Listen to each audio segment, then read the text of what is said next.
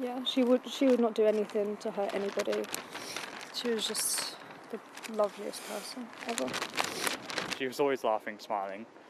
Never heard her, never saw her upset. She was either really good at hiding it or she really enjoyed life, and I think she did. We laid some flowers, um, purple, because her purple hair was the most vibrant thing about her. She's fabulous. Um, really sad.